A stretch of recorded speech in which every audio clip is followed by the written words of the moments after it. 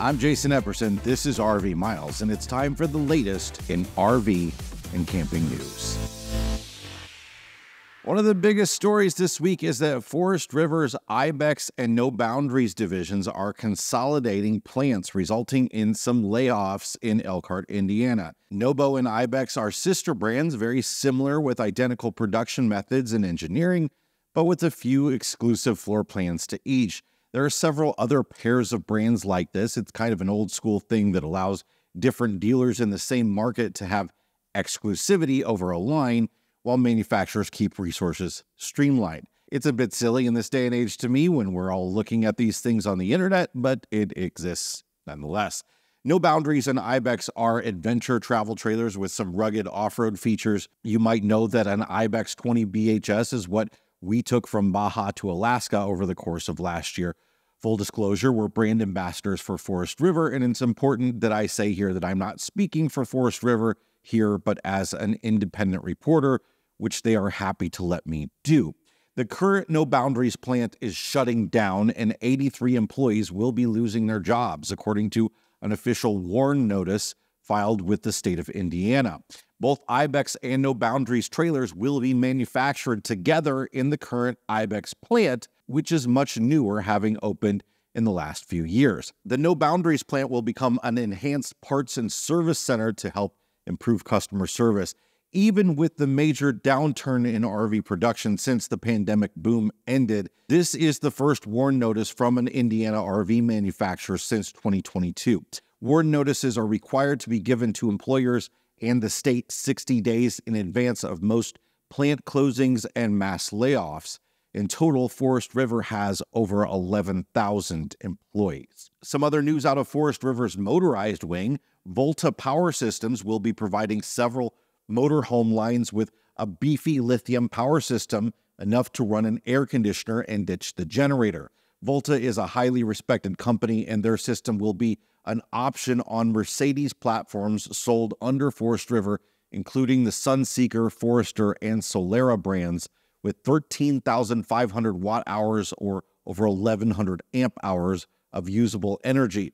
Volta says owners will be able to run high power amenities, including all night air conditioning. Three prototypes have been built, and units will go into production in March. Each also features a 7,000 watt alternator to charge batteries while driving a typical car alternator only makes about 1400 watts. The system also includes a 3200 watt inverter. Forest River intends to eventually offer the system on other chassis, including the Ram ProMaster. Dragonfly Energy, makers of Battleborn batteries, has announced a partnership with Forest River's new OGV luxury coach division. Battleborn lithium batteries are standard equipment on all OGV units, which debuted at the Florida RV Super Show in January. Dragonfly is supplying a system similar to Volta's with 1,080 amp hours of Battleborn Game Changer 3.0 batteries. It's really nice to see such ample power systems coming from the factory so you don't have to rip everything apart and they're not being built with cut rate generic brand components. I've just returned from the Seattle RV show, my third RV show of the year. Show season is well underway and lots of reporting I'm seeing, as well as my own conversations with manufacturer reps and dealers tells me that sales are mixed, but generally better than expected. Part of that may have something to do with the fact that interest rates for RV loans have been cut by retail lenders, even though the Fed has yet to cut rates overall. That's according to an article from the RV Dealers Association, which also says that many RV shows are suspending their rules and allowing 2023 units to be sold, which I certainly noticed in Seattle with many units advertised as the last 2023 available at that dealership. Dealers have noted that many of the buyers that are out there at the moment are value buyers and getting a deal on a 2023 and newly lowered payments thanks to a slightly lower interest rate may be helping RV shows sales even with attendance staying flat or dropping a bit. Mark Wahlberg Airstream. Yes, it's an Airstream dealer owned by actor Mark Wahlberg in Columbus, Ohio, has launched what it calls the first virtual universe digital connected Airstream dealership. It's a fully digital dealership at markwahlbergvu.com where you can find a virtual reality Airstream showroom with 360 degree views and in depth tours. None of that's too exciting, but once you've found your perfect Airstream, the buying process actually happens right in the website, and a secure file cabinet stores all of your essential Airstream documents, including warranties and titles, how to videos, things that can be accessed from anywhere. Wahlberg owns several RV and auto dealerships, mostly in Ohio. Ford is recalling over 16,000 2021 and 2022 E350 and E450 vehicles equipped with dual rear wheels. These are cutaway chassis, many of which are used in Class C motorhomes. An inadequate connection between the power steering pressure line and the brake hydro boost unit may result in a sudden loss of power steering fluid. Dealers will replace the power steering pressure line and the hydro boost jumper line free of charge. Vehicles in this recall were previously recalled back in 2022 for the exact same issue, but apparently the fix was not effective, and owners will need to have the new remedy completed even if their vehicle was remedied under the prior recall. Owner notification letters are expected to be mailed on March 25th.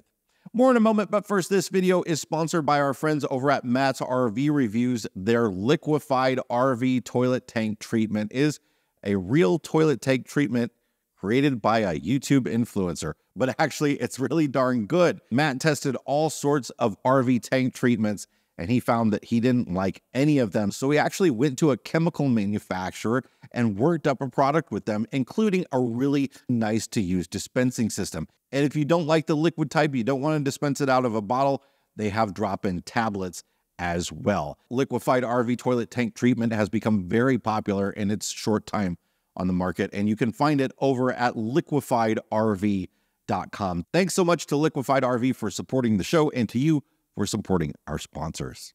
New York State Parks, historic sites, campgrounds, and trails saw a record 84.1 million visits in 2023, according to a release. Total visits statewide surged by nearly 4.7 million, a 6% increase compared to the previous record year in 2022, leading into the park system's 100th anniversary, which happens this year.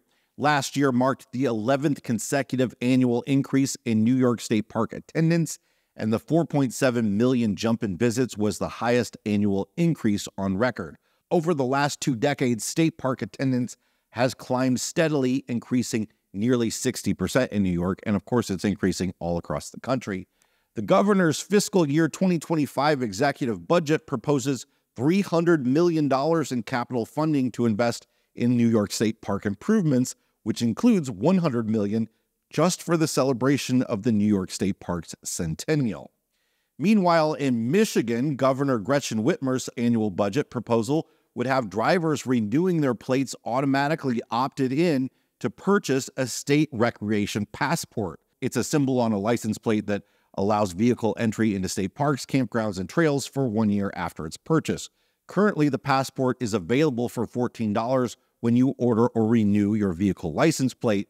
Officials have proposed automatically including the charge in Michigan residents' plate renewals, a change that the state estimates will bring in $17 million annually. Drivers would still be able to opt out of purchasing the service, but would need to intentionally make the decision to do so by sending in a postcard that is pre addressed and postage paid. Michigan's veterans will be granted a passport free of charge. Michigan has over 100 state parks, 1,300 boating launch sites, and 13,500 miles of trails, many of which have seen increased attendance and decreased state general fund dollars over the years. Back in 1970, the Michigan Department of Natural Resources received 68% of its funding from the state's general fund, and now that figure is only 3%.